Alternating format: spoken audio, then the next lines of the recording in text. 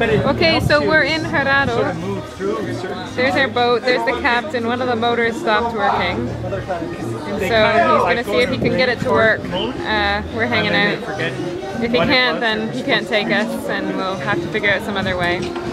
Um, this was all after Niels lost his passport for two hours. Do you have a, a special comment on that experience?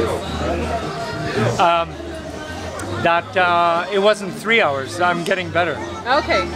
It was three hours there's- without the no, passport? normally it would be three. It's only two, so I'm Oh. 50% better. Yeah. I'm encouraged. And it was right at the time we, we, we came into Colombia and they were going to send him back yeah.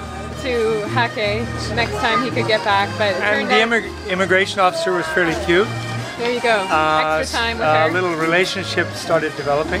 yeah. So I thought it could be in worse places for four days, like with my ex-girlfriend. Well, I mean, uh, sorry, don't record that.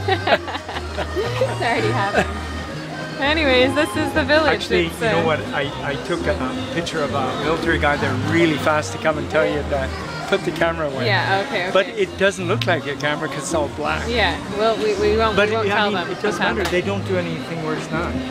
Yeah. Yeah. And also, what, there was a lot of shooting happening just down the river where we were sitting trying to get the motor going, and I guess we don't know why there was a lot of shooting. It was a little bit scary for a while there for me. you know Okay, bye. what?